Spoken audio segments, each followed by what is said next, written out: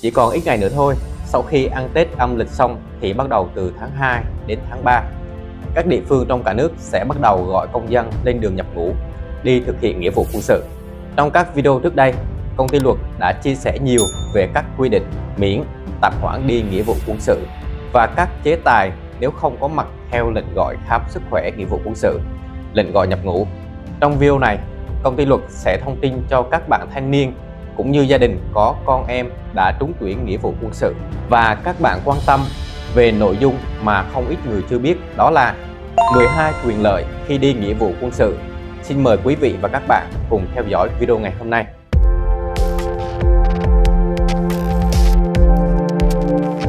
Văn Hưng xin chào quý cô chú, anh chị và các bạn đã đến với kênh youtube của công ty luật CAF.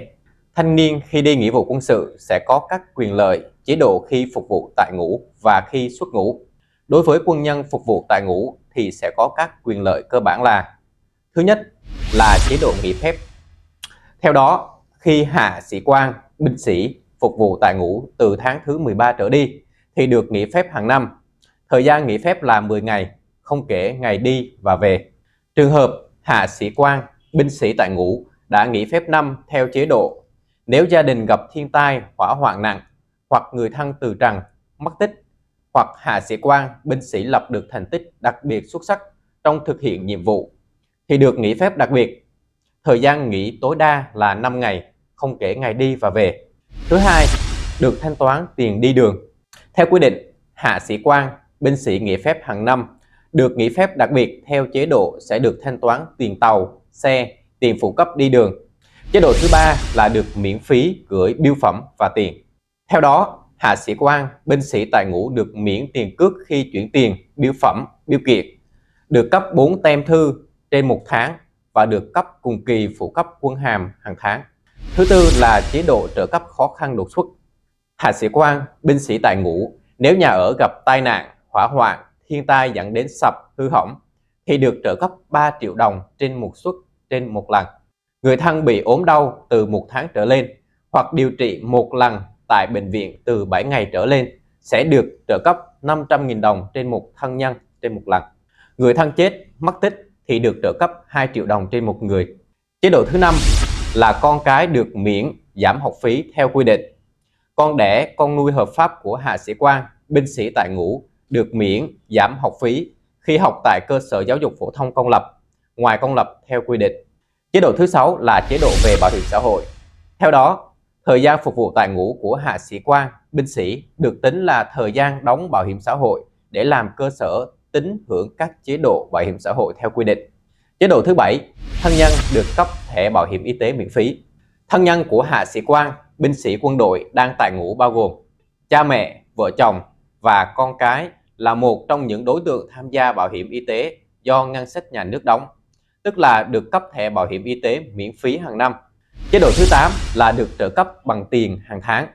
Theo quy định luật nghĩa vụ quân sự, thời gian phục vụ tại ngũ trong thời bình của hạ sĩ quan, binh sĩ tiêu chuẩn là 24 tháng.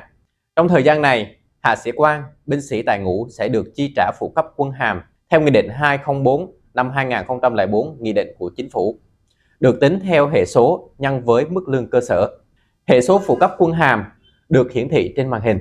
Hiện tại, mức lương cơ sở là 1 triệu 490 000 đồng trên một tháng và từ ngày 1 tháng 7 năm 2023 sẽ tăng thành 1 triệu 800 000 đồng trên một tháng.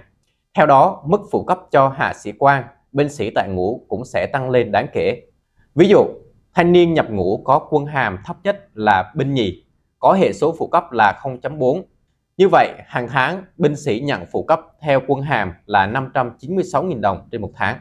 Từ ngày 1 tháng 7 năm 2023 trở đi là 720.000 đồng trên một tháng. Trong thời gian đi nghĩa vụ, binh sĩ còn được thăng cấp bậc khi đủ điều kiện theo quy định. Thường trung bình 6 tháng thì binh nhì có thể lên binh nhất, sau 24 tháng thì quân hàm có thể đến trung sĩ.